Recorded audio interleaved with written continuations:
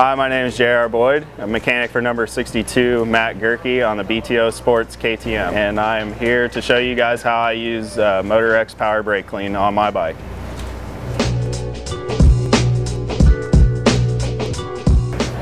Uh, the Power Brake Clean, we pretty much use it for our brake pads and cleaning all the everything to do with the hydraulic brake systems. I use it also in between practice sessions to clean anything that I have to take apart whether we're swapping out rear wheels or front wheels or anything I take apart I just use the power brake clean to clean it so I can prep the whatever bolts or anything so I can get it ready to go for the next practice session.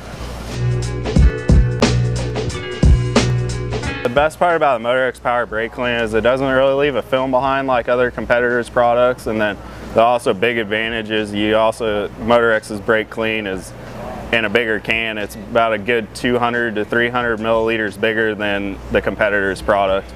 So you get more, more bang for your buck.